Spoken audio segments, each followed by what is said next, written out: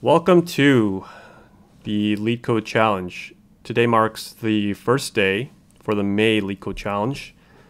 And today's question is going to be the first bad version. So, say you are a product manager and currently leading a team to develop a new product. Unfortunately, the latest version of your product fails the quality check. Since each version is developed based on the previous version, all the versions after a bad version are also bad. Okay, makes sense.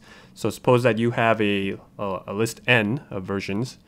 Um, it's going to be a list of integers starts starting with 1, and you want to find out the very first bad one.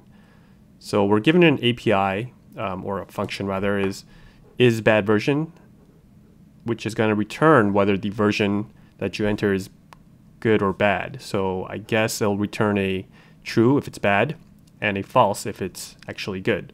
So that's a little bit confusing, but go with it. All right, so here's the idea, right? Say that you have a list of one, two, three, four, five. We're given the number 5, and we want to find, all right, out of the, this list of integers, which version was the very first bad one, right?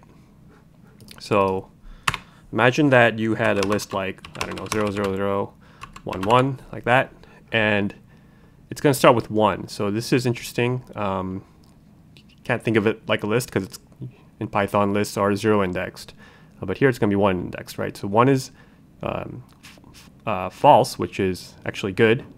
Two, three are all good. Four is the very first bad one, and we're going to be given the um, integer five, and it's our job to figure out, all right, which one was the very first bad one. So obviously, the very easy method would be to say, uh, okay, we'll just start with five.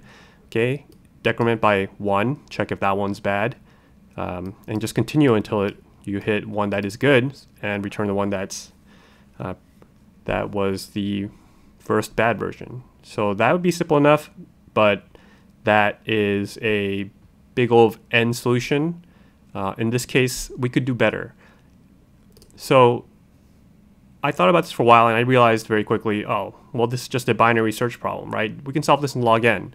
We already know what the beginning one is. It's going to start with 1 uh, we don't know whether it's good or bad, but we know that the very first index is 1, and whatever number that they enter in this first bad version, for our case and purposes, that's going to be the edge or the, the, very last one. So uh, if we were to like do a binary search here, what we would do is search the middle first, check if that's bad.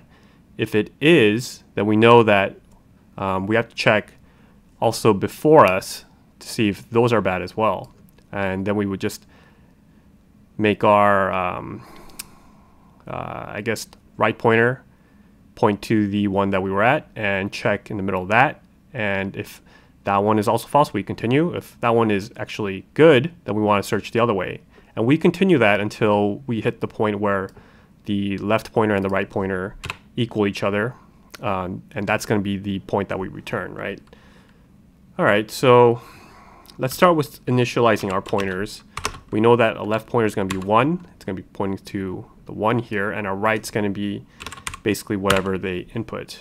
And we have a function that is written. They call it an API. And we're going to input that to see if that version is um, bad or not.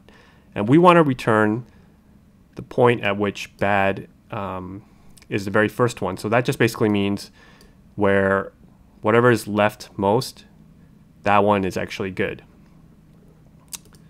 Okay, so usually with these binary search problems, you do a while loop and say while left is less than r. Uh, first, we want to calculate the midpoint, right? So we could say the midpoint is left plus r divided by 2. Round that up, or round down rather and that's going to give us our pointer for our, that's going to be what we check. Okay, so we check to see is this mid version bad? And if it is, then we want to continue searching left, right? So that would mean to make R equal to mid. Okay, and, th and that way we could, the next time we loop over, we're going to check uh, so say that we checked here first. Next time we loop over, we're going to, like we check this whole array. Now we're just going to check this part. Okay, else, we're going to say, nope, it wasn't, then let's search the other way, and we'll make left equal to mid. And you actually need to add a plus one here. I'll explain why in just a bit. After that, all you do is it's going to break the loop once L is no longer less than R. That basically means L equals R. So we would just return either L or R. Let's just return L. And that should be it. And indeed, the expected answer was 4. We returned 4. So just a quick note here. Why do we have to add this plus 1? Well, to be honest, when I first tried this, um, I set it up like this and it wasn't working properly. And I realized it's because of the way that um, we need to choose which index to return. So say that we're starting here. At a certain point, it's we're going to be searching this array, right? Left is going to be pointing here and right will be pointing here. And it's going to check mid, which will always be this one.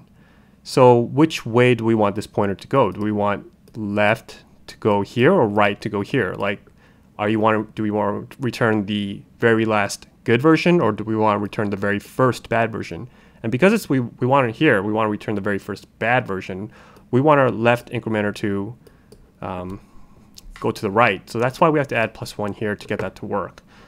So I'm going to submit it and we got accepted. So that's it. It's a pretty standard standard problem. Um, you'll see variations of it, but but hopefully that explains it pretty well. Thank you.